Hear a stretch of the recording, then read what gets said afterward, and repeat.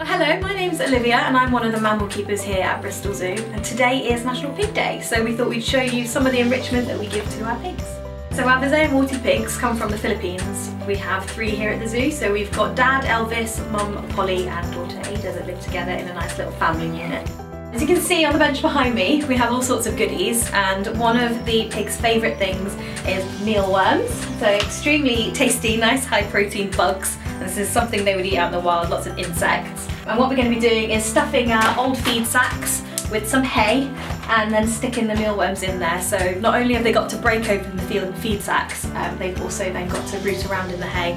And that is really stimulating one of their natural behaviours, which is foraging. So this is one of their favourites and Ada, the youngest pig, absolutely loves paper sacks. Um, she often grabs hold of them and runs around the paddock with them on her head.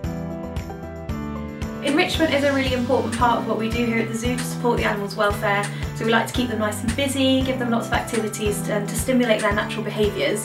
So this is just one of the things that we like to give to our pigs. Um, other things we do, quite like ice lollies, uh, scent trails. So we'd really try and mix it up and make sure that we are stimulating quite a few of their natural behaviours. So if you've enjoyed watching our pigs interact with their enrichment and you want to get involved, you can head over to our Amazon wish list and there's a huge variety of things that you can buy and donate to not only the pigs but lots of other animals around the zoo.